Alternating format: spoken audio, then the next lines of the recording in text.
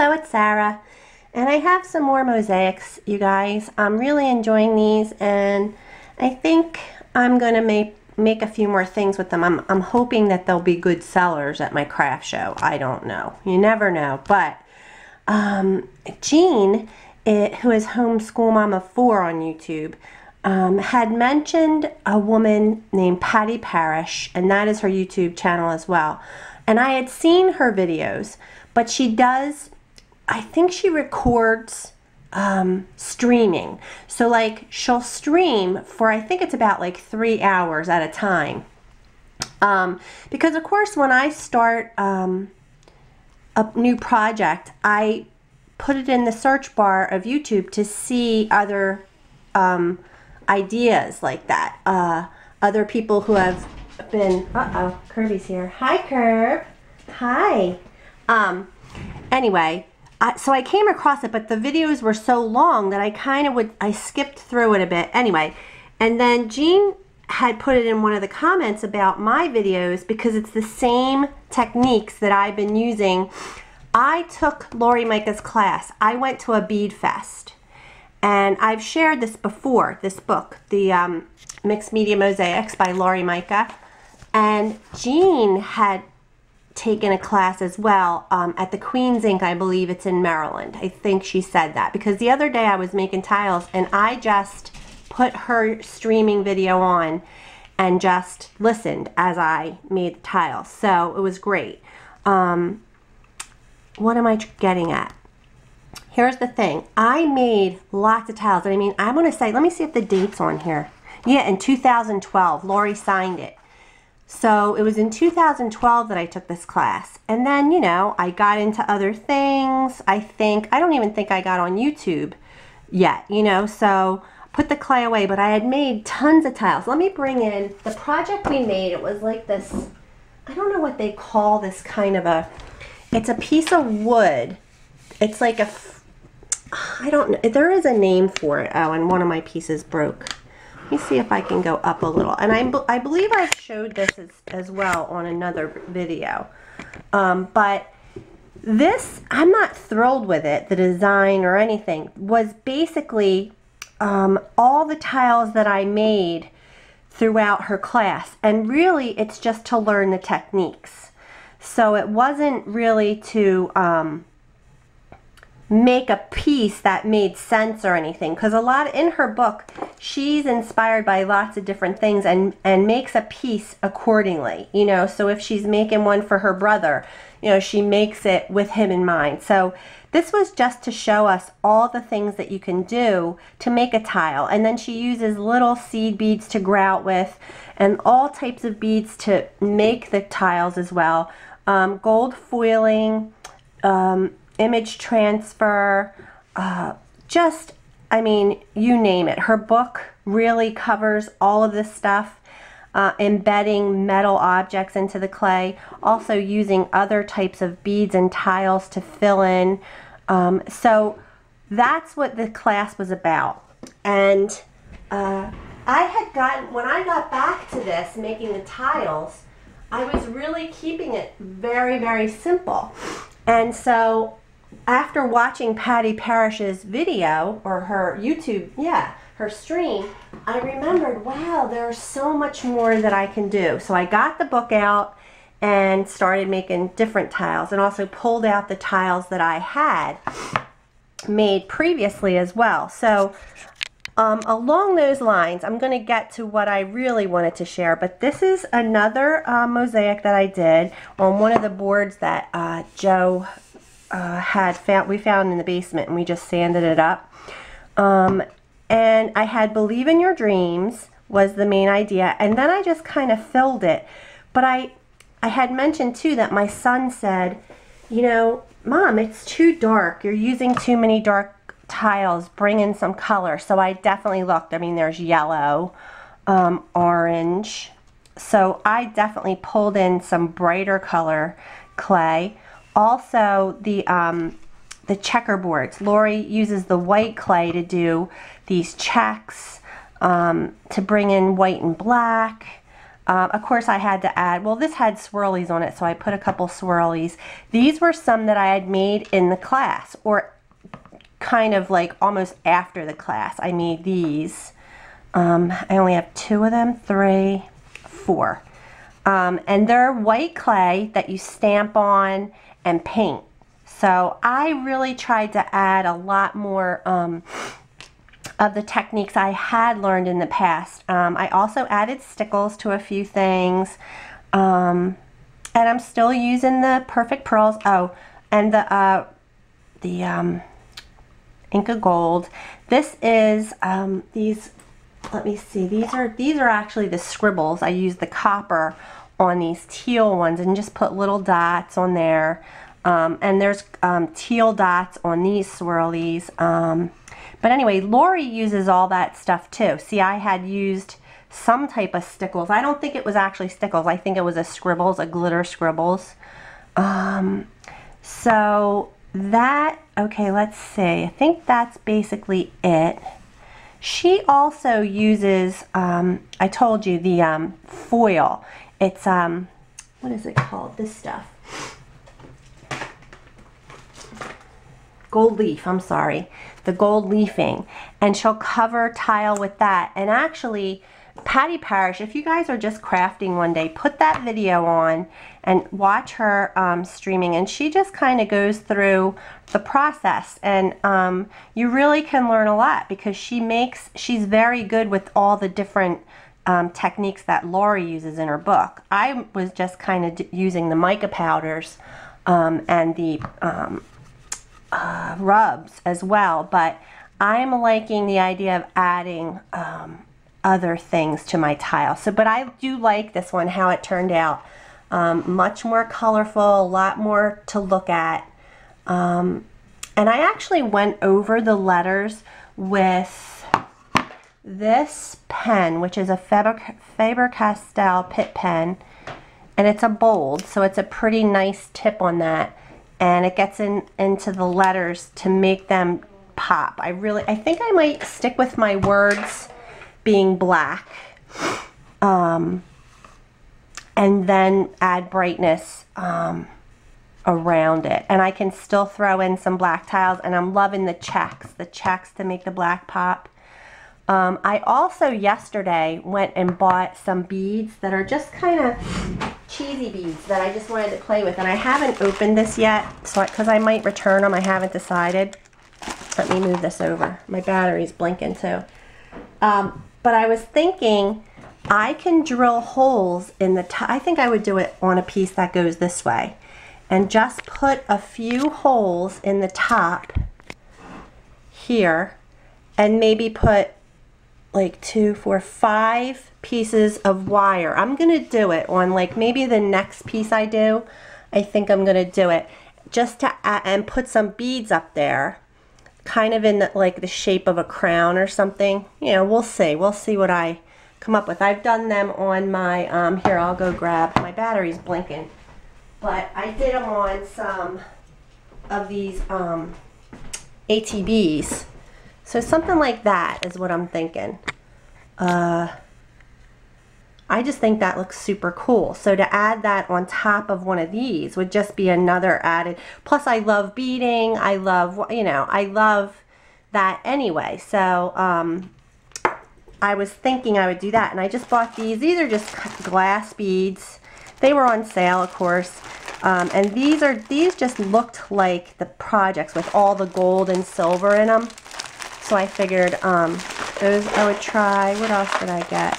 Oh, and just some of these type of beads. These are square uh, to use as grout line. Sometimes you have a little gap, and Laurie recommends that you fill them with beads as well. So that is that. Now I have one more share. I'm going to go away and come back. Okay, I changed my battery too. So in Laurie's book, she also has she's going to be teaching at Polymer Clay Adventure in April, and I can't wait. So April, I think it's April. Maybe the, whatever. Um, she, uh, oh my gosh, look at this one. It's just a little picture frame. Oh my gosh, I think I might have to try this. I like this idea because you can make the shrine. Because see, I'm not good with the um, image transfers, but I could definitely do that. I'm definitely, Kirby, stop busting in here. She's so crazy. Um, she hears me talking and she knows I'm up to something. All right, so she makes these little boxes. And I happen to have a couple little boxes, the ones you get at um, AC Moore. I might have to go get a couple more because they were really fun. And these are much deeper. They have lids that just lift off, but this one's called a relic box. If you can see that. Hi, Curb. She busted in. Um, and then she paints the rest of the box, but she just tiles the lid basically. But I think you could do whatever. I mean, you could probably tile the whole thing. So she's got that one, and she goes through the steps of how you do it, the entire thing. This one's called the jewel box. And again, I mean, she adds this little block with some beading on it. Love it. So I haven't tried that yet, but I'm gonna, you know, I'll see what I come up with. And a lot of these tiles are seem to be the painted ones. So this is kind of along the lines of the painting. And you can see, I mean, look, she's put these little flower dip dots. I love that. Um, and then there's the gold foil pieces as well. Um, and then there's one more in here. It's, oh, I thought there was. All right, I probably missed it. Anywho, got me thinking, and so of course I had to make a couple boxes. This is the first one I did. Um, this is one of the ones that you get from AC Moore, like I said, and it has this magnet right in here. So it's like, it does have a close, like it stays closed pretty good. Um, I just pulled, I made some new um, stamps. The white ones are mostly new that I used on here. Um, and I used this paint to paint my box, which I thought, I don't know why I was thinking it was a lighter pink, but this is red actually. It's a it's called Hollyberry, not pink at all. I glued this um, the awareness ribbon on there. It's actually a button. Cut the shank off, embedded it in the clay, and took it out, and then baked the clay, and then glued it in after it was all baked, and I had painted it and everything. Um, so see, you'll see some of my, I put an applique bead there. It just fit really well. Um, I had some hearts that I, so I cut that to fit. And uh, I mean, basically, the, this one I had already made, and it had that red clay. So I, I thought the red clay kind of played with the red box. And this trim was a last minute decision, but uh, I, put, I, I really like it because I it was new. I hadn't used it before, but I just think the color is so close. It's like a really, I was thinking gold, but then when I, I just like that. I think it turned out really cute, really cute. I put a Hope um, tile there, like kind of as where you would open the box.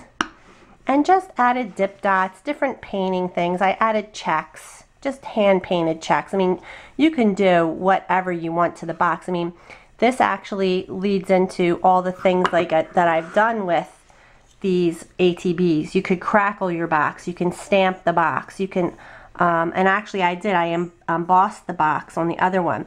These are all the little, um, these are the, the three-dimensional um, uh, stickles and scribbles that you can use. So there's so much that you could do to the box that I didn't get too crazy with it because Laurie's were just basic. She had painted them.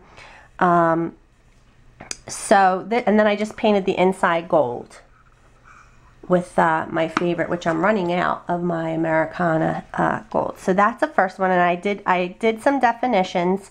This is hope, to wish, a desire you wish to be fulfilled. Um, so this is kind of a hope box, I think, because I put hope here, and um, with the ribbon. You know, Elna's on my mind. That's my aunt. So that's the first one. And I mean, I'll, I can show you, well, they're not very big. I mean, obviously you can see it's only about three and a half inches by three and a half. This one's quite small. So I might go and I put my name in the bottom in gold. I got to sign the other one. All right, so that's that one. Then this is the other one. This one is about two and a half by five. So that's got a nice little bit more um, room to work with. But this stamp, this, um, sorry, it is a stamp. uh, my nails are a mess. I'm sorry. That looks gross, but I've been working.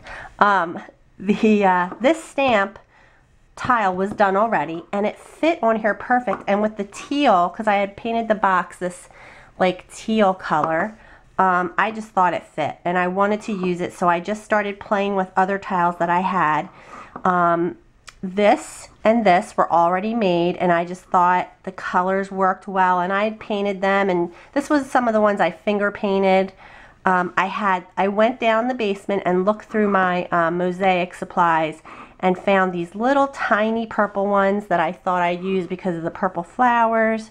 Um, I made some music um, tiles. I have a little music stamp and then this has the defin dream, the definition. Um, I kind of cut the, the definition off, but um, then some more checks, and this one was an older tile, and you can see how much more dimensional these tiles are because Laurie rolls hers by hand. She um, doesn't use a pasta machine to roll um, her tiles. So, I mean, mostly the rest of them are pretty, I mean, I was hand rolling some of the white tiles because I was using Sculpey 3 for the white tiles because um, it's so much softer. And I don't know, I had it. I had some Sculpey 3, so I used it because the Premo is a lot, um, some of the Premo, it's really hard to, to um, condition. So anyway, I did the checks along the top. I put a love uh, tile there where you open it, painted the inside gold again, but the outside, the bottom, I embossed with white embossing powder and a flower um, background stamp. And then I just rubbed some Inka Gold across it in pink. Pink and gold I rubbed across it. The back I did in clear. And I did the pink and um, Inka Gold and I just didn't think it popped enough. So I did the, I tried it on the back first and then I, I figured I'm going to pull the white in from these tiles and I really like it. And then of course, when in doubt, bling it up. I had to add I don't know, it just looked a little bare on the bottom, so I added the black bling, and I really like it. So those are my two, but I'm going to come down a little. I know this is annoying when I, oh God, sorry. Um, but I just think, I just wanted to give you a better perspective of, see if I can, I mean, you know, they're, they're pretty small. And I had these feet in my stash too, so when I go buy more boxes, I'll look for other kind of cool things that you can use for feet. She uses like, they're almost look like little dolls or angel bodies with heads. Um, and it makes them much taller.